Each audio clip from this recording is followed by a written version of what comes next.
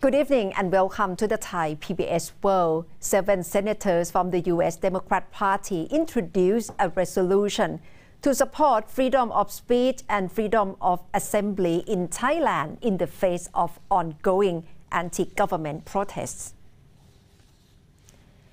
Ladda Tammy Duckworth, a Thai-born U.S. senator, has also joined a group of U.S. senators. Bob Menendez, who is a ranking member of the Senate Foreign Relations Committee, described the Thai protesters as Thailand's reformers, who he said are not seeking a revolution.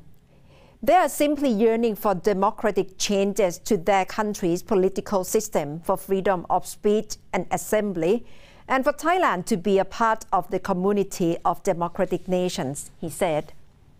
Menendez said the resolution is a clear message of solidarity and support for freedom of speech and freedom of assembly in Thailand. He also urged all parties not to engage in violence or harassment.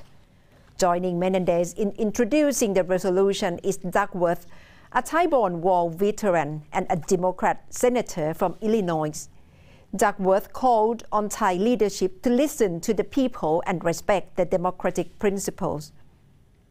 As a Thai American who fought to protect the right to peacefully protest here at home, I know that both the long standing, strong relationship between the US and Thailand, as well as every individual's inalienable democratic rights, are critically important to uphold and defend, said Duckworth.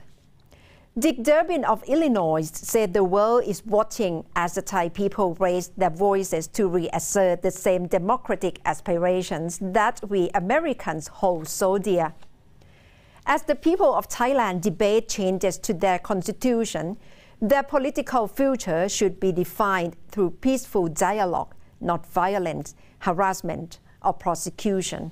In particular, the voices of the many brave Thai students and youth deserve attention and respect, he said.